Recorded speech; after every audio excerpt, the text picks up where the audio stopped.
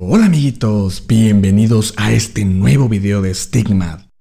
En esta ocasión vamos a mostrar geométricamente la propiedad del inverso de un número complejo, siendo esta el conjugado del número complejo dividido entre el valor absoluto o módulo del número complejo elevado al cuadrado.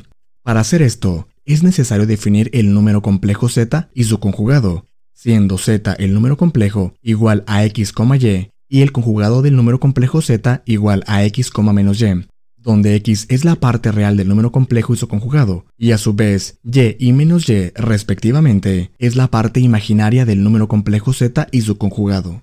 Del mismo modo, es necesario decir que el módulo del número complejo z es igual a x al cuadrado más y al cuadrado, es decir, es la parte real de z al cuadrado más la parte imaginaria de z al cuadrado. Sin embargo, si este módulo lo elevamos al cuadrado, únicamente la expresión nos quedaría como x al cuadrado más y al cuadrado, y el resultado tendría que ser positivo, ya que lo que se encuentra dentro de la raíz siempre es positivo, puesto que todo número elevado al cuadrado dentro del conjunto de los números reales siempre nos da como resultado un número positivo. Para entender esto de una mejor manera, vamos a presentarlo gráficamente. Su representación será en el plano complejo. El eje X será la parte real, mientras que el eje Y será la parte imaginaria del número complejo. Por tanto, se podrá representar como si fuesen valores vectoriales. Así, por ejemplo, el vector de color azul será el número complejo z. Cabe recalcar que el plano complejo no se encuentra anotado con algún tipo de escala, ya que como se está hablando de un número complejo z general, no es necesario de que especifiquemos el valor de la parte real ni el valor de su parte imaginaria. Asimismo, como el conjugado de un número complejo consta solo de intercambiar el signo de la parte imaginaria, también podemos graficar dicho número complejo conjugado, siendo este el que se encuentra de color amarillo. Dicho número complejo conjugado es simétrico a z, con eje de simetría en el eje real. Es decir, si z tiene un ángulo de inclinación de θ, entonces el conjugado tendrá un ángulo de inclinación de menos θ. Del mismo modo, el módulo del número complejo z es la longitud del número complejo, es decir, la longitud del vector que representa el número complejo, por tanto, el módulo del conjugado de z será la longitud del conjugado de z. Al visualizar minuciosamente esto, podemos corroborar que el módulo de z es exactamente igual al módulo del conjugado de z. Ahora bien, si se multiplica el número complejo por algún número real, lo que ocasionará será modificar el módulo del complejo. Sin embargo, esta multiplicación no modificará en absoluto el ángulo de inclinación, o bien el argumento del número complejo z. Solo lo hará si el número por el que se está multiplicando es un número negativo, pero si se multiplica por un número negativo, es lo mismo que multiplicarlo por un número positivo, rotando más 180 grados el resultado de la multiplicación. Por consiguiente, si multiplico tanto el complejo y su conjugado por 2, el módulo valdrá el doble del valor original. Y del mismo modo, si los multiplico por un medio, el módulo se reducirá a la mitad. Esto se ve muy claramente gráficamente. Sin embargo, para entenderlo a la perfección, vamos a probarlo analíticamente. Primeramente tenemos a la multiplicación de un número real alfa por el número complejo z. Al realizar la multiplicación nos quedará alfa por la parte real y a su vez alfa por la parte imaginaria. Lo que se tiene que hacer aquí es ver las propiedades referentes al módulo de esta multiplicación. Como sabemos que el módulo es la raíz cuadrada de la parte real del número complejo z al cuadrado más la parte imaginaria del número complejo z al cuadrado, nos queda esta expresión. A su vez, si distribuimos el cuadrado, se tendrá la raíz cuadrada de alfa cuadrada por x al cuadrado más alfa cuadrada por y al cuadrado. Si factorizamos alfa al cuadrado, tendremos esta otra expresión, mas sin embargo, como es una multiplicación dentro de la raíz, podemos convertirlo como una multiplicación de raíces. Como la raíz cuadrada de alfa al cuadrado es igual al módulo o valor absoluto de alfa, podemos concluir que en efecto el módulo de la multiplicación de un real por un número complejo es la multiplicación del valor absoluto de alfa por el módulo de z. Se está viendo esto porque para encontrar el inverso del número complejo z es necesario hacer la multiplicación de un número real por un complejo, en este caso, el escalar o número real será 1 entre el módulo de z al cuadrado, mientras que el complejo será el conjugado del número complejo z. Así que con esto podemos seguir con la explicación.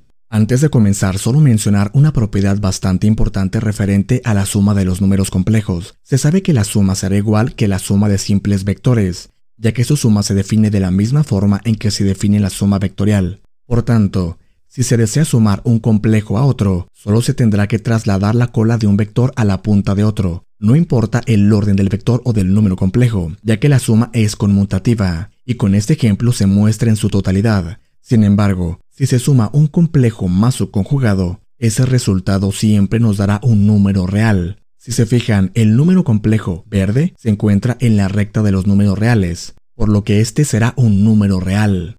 Análogamente se podría demostrar que la resta del complejo z menos el conjugado nos dará como resultado un número imaginario puro, pero esta vez no lo presentaremos, ya que no es el objetivo principal de este video. Del mismo modo, sabemos que la multiplicación del número complejo por su conjugado, o viceversa, siempre nos dará como resultado la identidad multiplicativa de los números complejos, la cual corresponde al número real 1. Del mismo modo, recordemos que la multiplicación entre números complejos nos da como resultado otro número complejo, el cual se obtiene mediante esta expresión. Del mismo modo, se sabe que la multiplicación de un número complejo por su conjugado nos da como resultado esta otra expresión. Si la multiplicación entre complejos la tomamos por la forma exponencial, esta nos quedaría como la multiplicación de z sub 1 por z sub 2 es igual al módulo de z sub 1 multiplicado por el módulo de z sub 2 y a su vez multiplicado por la exponencial elevado a la i multiplicada por z sub 1 más z sub 2, siendo z sub 1 y z sub 2 los argumentos de los números complejos z sub 1 y z sub 2.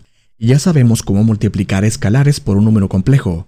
Y a su vez, sabemos cómo sumar ángulos, lo primero que se va a hacer es saber el argumento o ángulo de inclinación de la multiplicación de los números complejos. Vamos a sumar θ sub 1 más θ sub 2 y posterior a eso deduciremos el módulo que tendrá el nuevo número, y ya sabemos de antemano que será el módulo de z sub 1 por el módulo de z sub 2. La importancia de esto radica en que si se multiplica z sub 1 por z sub 2, al argumento de z sub 1 se le sumará el argumento de z sub 2, por lo que sufrirá una rotación, a menos que como ya mencionamos anteriormente, se multiplique por un número real. En todo caso, como el argumento de los números reales es cero, no sufrirá ninguna rotación. Sin embargo, sí podría sufrir un agrandamiento o achicamiento de su módulo, ya que el valor absoluto del número complejo, que en este caso es real positivo, podría ser diferente de 1. Y si es diferente de 1, o se puede agrandar o se puede achicar. Solamente existen esas dos posibilidades. Así de simple es como se ve la multiplicación de números complejos.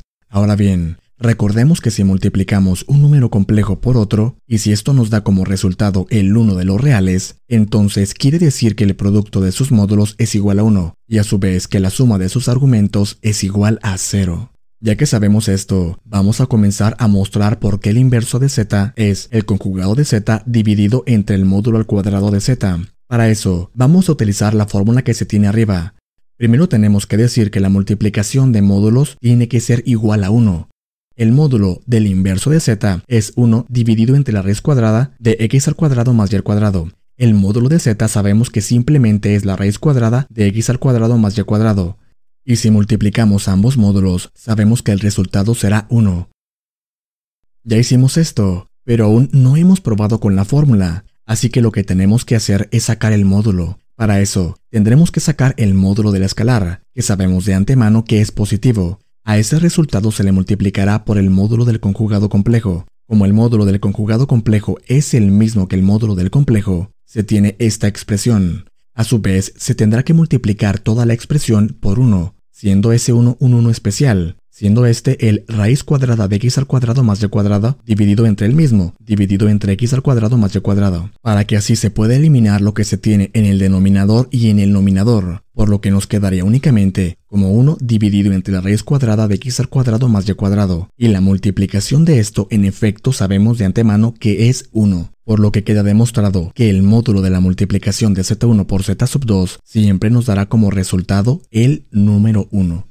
De la fórmula que tenemos subrayada, sabemos que la suma de los argumentos debe de ser igual a cero, pero con este ejemplo geométrico se visualiza de una manera especial. Tenemos aquí al complejo z como el azul, y de la misma forma, el complejo amarillo será el número complejo inverso de z, ya que el argumento de z a la menos 1 o el complejo del inverso de z es igual a menos θ o también 360 menos teta, para que cuando se le sume el teta nos dé como resultado el 360, que es equivalente a 0.